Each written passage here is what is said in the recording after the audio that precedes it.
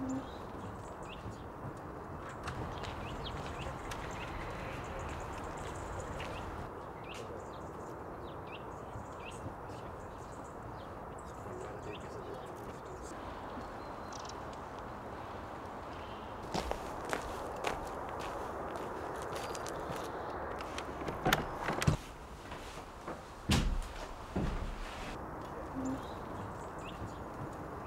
I'm Howell Couch. I work here in St Fagans Museum as the Exploring Nature Facilitator.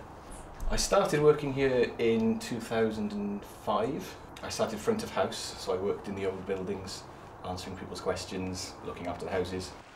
The museum opened in 1948.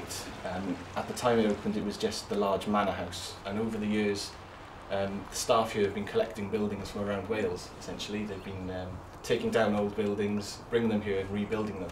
So we now have a collection of 40 plus buildings, all from different time periods from all over Wales. My main job here as the Exploring Nature Facilitator is to try and um, emphasise and promote the nature living within the museum. Right, we've got lots of different bird feeders outside the bird hide um, to attract the birds so that when the public do come, they'll obviously get to see something happening. Um, in this one here, we've got lots of peanuts, which attract lots of different types of birds. We get lots of different tits coming here. We get great tits, blue tits and coal tits. But also because of the peanuts, we also get things like the great spotted woodpecker and the nuthatch, which are quite exciting to see. For lots of people, they're not going to go out of their way to visit nature reserves or bird hides.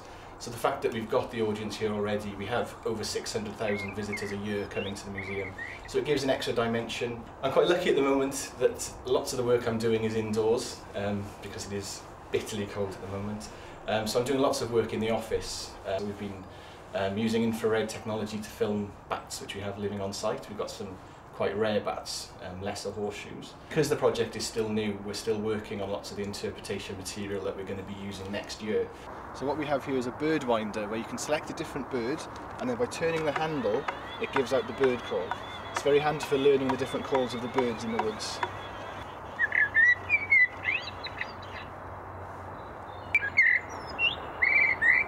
Today, because we're approaching Christmas, um, I've got a little weekend on called Sustainable Christmas. Um, part of what I do is also environmentally based, so I do lots of workshops about the environment.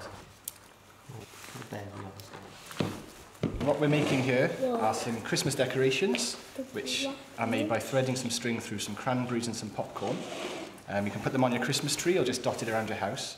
And then after the festive season, you can put them outside in the garden and it should attract some birds to come My favourite thing about working in the museum here um, is probably the fact that I get to be outdoors. It's a lovely place. I mean, the woodlands are fantastic, so it's, it's just nice to have an opportunity to be able to go outdoors.